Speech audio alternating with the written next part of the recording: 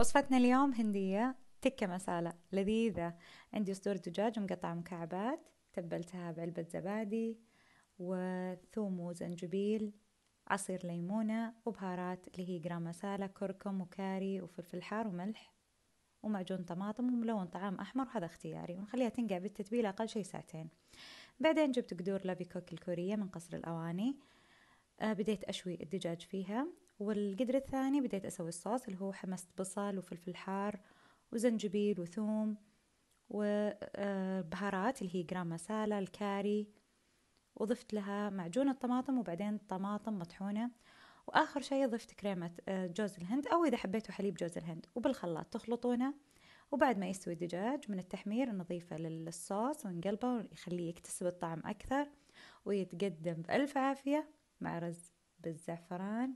ويا سلام جربوه.